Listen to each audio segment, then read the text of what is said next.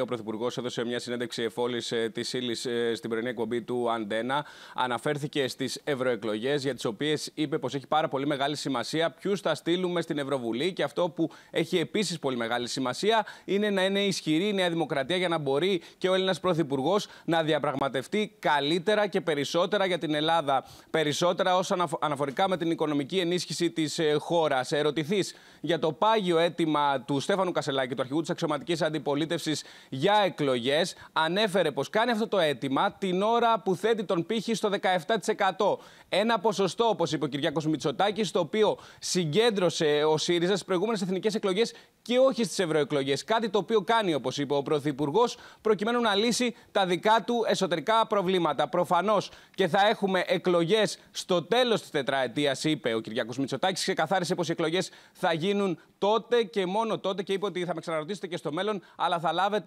την ίδια απάντηση. Μάλιστα. Αναφορικά με την ε, ρητορική της ε, τοξικότητας, είπε πως ε, βλέπω τον Στέφανο Κασελάκη και τον Κυριάκο Βελόπουλο και μου θυμίζουν αναμφίβολα τον Αλέξη Τσίπρα και τον Πάνο Καμένο. Είπε για την τραγωδία των Τεμπών πως δεν υπήρξε καμία συγκάλυψη. Για το υλικό και τις συνομιλίες από το βράδυ της τραγωδίας ανέφερε ο Πρωθυπουργός πως το υλικό είναι αυτούσιο στην ελληνική δικαιοσύνη και πως δεν υπήρχε καμία κυβερνητική παρέμβαση. Ναι. Ενώ στάθηκε φυσικά και στα ζητήματα της ε, οικονομίας. Ερωτηθείς για την ακρίβεια, είπε πως αναγνωρίζουμε τον πρόβλημα, όμως έχουμε ήδη κάνει πολλά.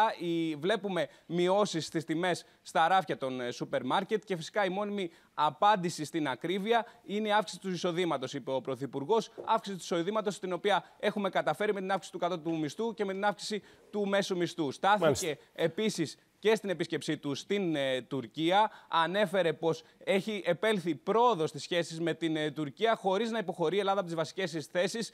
Κλείνοντας, να σας πω και δύο ειδήσεις τις οποίες έβγαλε ο Κ. Μητσοτάκης κατά τη διάρκεια της συνέντευξής του. Δωρεάν απογευματινά χειρουργία είναι υποσυζήτηση με τον αρμόδιο Υπουργό Υγείας να εντοπιστούν τα χρηματοδοτικά εργαλεία για όσους ε, με βάση τα εισοδηματικά κριτήρια ή με όσους περιμένουν αρκετό καιρό στις λίστες αναμονής των απογευματινών χειρουργείων. Ενώ σχετικά με τους Σπαρτιάτε, κλείνοντας να πω πως ανέφερε πως η Νέα Δημοκρατία θα καταθέσει πρόταση υπόμνημα στον Άριο Πάγο κατά της υποψηφιότητας ε, των Σπαρτιατών. Ελπίζουμε, είπε ο Πρωθυπουργός, να το κάνουμε σε συνεννόηση και με τα υπόλοιπα κόμματα της αντιπολίτευσης μέσα στο κλίμα της τοξικότητας που επικρατεί. Μίλτο Σοκελάριο, όπως είπαμε λοιπόν, η συνέντευξη αυτή περιέλαμβανε πολύ μεγάλη ατζέντα. Είχε πάρα πολλά θέματα. Να σε ευχαριστήσουμε πολύ.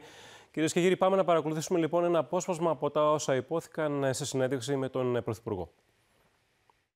Ο αρχηγός της αντιπολίτευσης ζητά εθνικές εκλογές. Την ίδια στιγμή που θέτει τον πύχη του δικού του κόμματος στο 17%. Λέει δηλαδή, εγώ θέλω να πετύχω το ίδιο ποσοστό που πέτυχα στις εθνικές εκλογές. Προσέξτε, γιατί στις ευρωεκλογές τις προηγούμενες ο ΣΥΡΙΖΑ είχε πάρει 23%.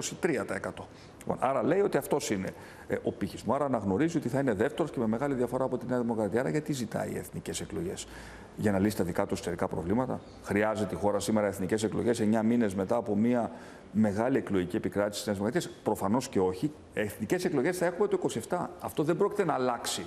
Αλλά το ζητούμενο εδώ, το ζητούμενο εδώ πέρα είναι να συνεχίσει η Νέα Δημοκρατία με την ίδια, θα έλεγα, ορμή και με ένα πολιτικό σκηνικό το οποίο λίγο πολύ διαμορφώθηκε στις εθνικές εκλογές, να μπορεί να υλοποιεί τις σημαντικές αλλαγές προς όφελος των πολιτών και να μην δώσουμε λαβή και δυνατότητα κυρίως στον αντισυστημισμό. Δυστυχώς βλέπω πια, ε, αισθάνομαι ότι βλέπω ένα remake, ξέρετε. Ε, βλέπω τον κύριο Κασελάκη και τον κύριο Βελόπουλο και μου θυμίζουν πολύ τον κύριο Τσίπρα ε, και τον κύριο Καμένο. Πολύ. Και αυτοί δεν πρέπει να ξεχνάμε ότι κάποια στιγμή συγκυβέρνησαν. Ε; Ενώθηκαν αυτές οι δύο ετερόκλητες δυνάμεις και κυβέρνησαν. Εγείρω τον κίνδυνο ενός νέου αντισυστεμισμού, ο οποίος μπορεί να πατήσει πάνω σε ε, αγανάκτηση του κόσμου για οποιοδήποτε ζήτημα. Δεν πάω πουθενά. Δεν με ενδιαφέρει να εκπροσωπήσω την Ευρώπη στην Ελλάδα, αλλά την Ελλάδα στην Ευρώπη. Έχουμε κάνει πάρα πολλά πράγματα ε, αυτούς τους 9 μήνες. Κάποια εκ των οποίων ήταν αρκετά δύσκολα. Ε, προχωρήσαμε τολμηρές μεταρρυθμίσεις με συγκρούσεις. Ε, και αυτές οι συγκρούσεις ενίοτε μπορεί να έχουν κόστος. Δεν το φοβήθηκα το πολιτικό κόστος.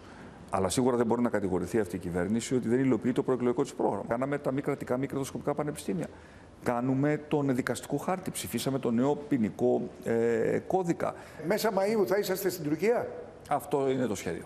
13 Μαΐου. Ε, είναι μια ημερομηνία η οποία συζητείται, δεν μπορώ να σας την επιβεβαιώσω ακόμα τελικά. Η Τουρκία κάποιες από τις βασικές της θέσεις δεν, δεν έχουν αλλάξει. Όμως μην χάνουμε τη μεγάλη εικόνα. Και ποια είναι η μεγάλη εικόνα, ότι υπάρχει μια σημαντική πρόοδος εξομάλυνσης στις ελληνοτουρκικές σχέσεις, η οποία νομίζω ότι είναι καλοδεχούμενη από τη μεγάλη πλειοψηφία και των Ελλήνων και των Τούρκων. Δηλαδή, νομίζω και οι συμπολίτες μας θέλουν, δεν θέλουν να έχουμε ε, μπελάδες με την Τουρκία, ε, ούτε ε, να είμαστε σε διαρκή ένταση. Δεν έχουμε εδώ και παραπάνω από 12 μήνες παραβιάσεις και παραβάσεις. Δεν το έχουμε ποτέ αυτό. Είναι μια επιτυχία αυτό ότι καταφέραμε και το πετύχαμε.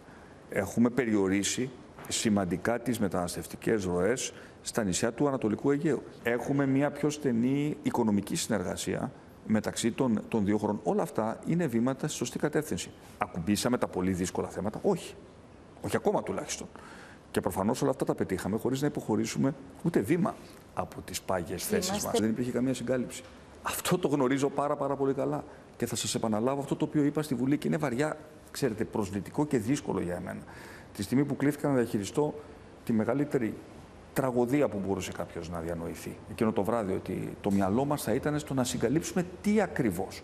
Κάτι το οποίο στη συνέχεια μάθαμε χωρίς να υπάρχει καμία αμφιβολία ότι ουσιαστικά στα τέμπη συναντήθηκε το ανθρώπινο λάθος με χρόνιες παθογένειες της δημόσιας διοίκησης, κάτι το οποίο δεν το έκρυψα ποτέ.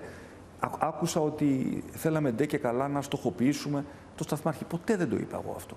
Πάντα θα μας βαραίνει ε, το γεγονός ότι δυστυχώς παρότι προσπαθήσαμε δεν προφτάσαμε να έχουμε έτοιμα όλα τα συστήματα ασφαλείας της τηλεδιοίκησης. Είναι αυτό το, οποίο αυτό το οποίο γνωρίζω, δεν το ξέρω. Αυτό το οποίο γνωρίζω όμως, πιθανώς να είναι, αλλά δεν το ξέρω. Αυτό το οποίο γνωρίζω είναι ότι το υλικό ακέραιο έφτασε στη δικαιοσύνη. Και αυτό δεν αμφισβητείται. Δεν υπήρχε καμία κυβερνητική ανάμειξη. Θα σας πω ένα λάθος το οποίο έγινε.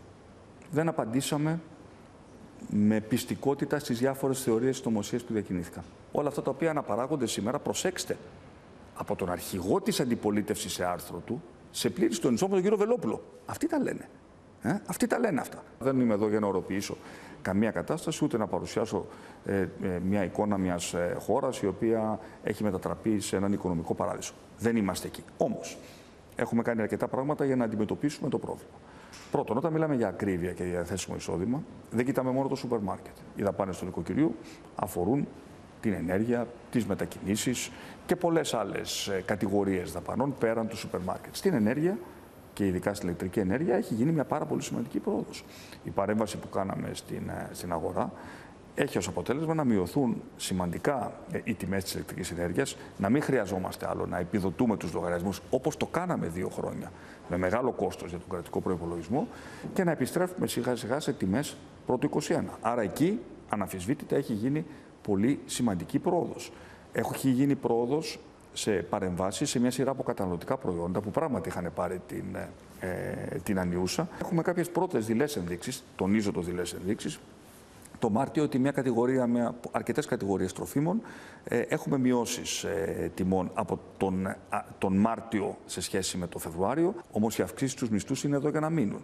Ο κατώτατος μισθός πήγε στα 830 ευρώ και θα πάει στα 950 ευρώ. Ο μέσος μισθός έχει αυξηθεί σημαντικά. Σίγουρα υπάρχουν κάποιοι που δεν έχουν βάλει μυαλό, γι' αυτό και μπαίνουν συνέχεια πρόστιμα.